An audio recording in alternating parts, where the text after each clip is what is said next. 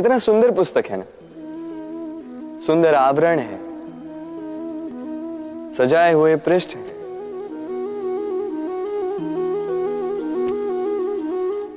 किंतु क्या ये सत्य में अद्भुत पुस्तक कहलाने की पात्र है?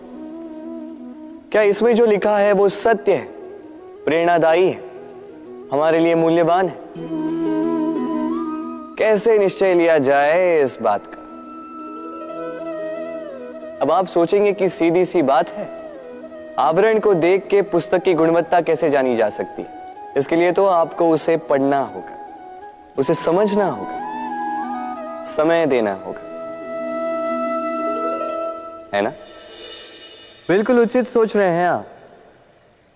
बस आश्चर्य की बात यह है कि पुस्तक के विषय में आप ये सारी बातें जानते हैं, किंतु किसी व्यक्ति के विषय में आप ये सारी बातें मन में नहीं लाते।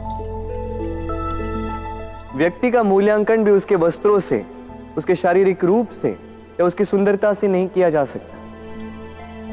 उसके लिए आपको उस व्यक्ति को पढ़ना होगा, उसे समझना होगा, उसे समय देना होगा। पर हम क्या करते हैं?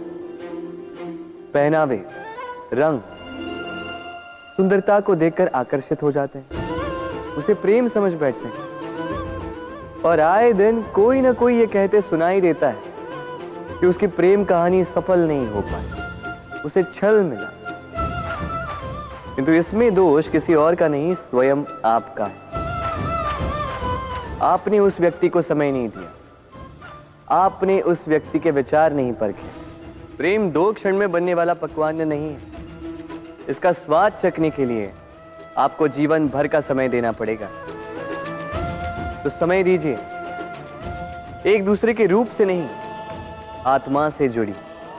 निश्चित ही मन प्रसन्नता से कह उठेगा। राधे राधे।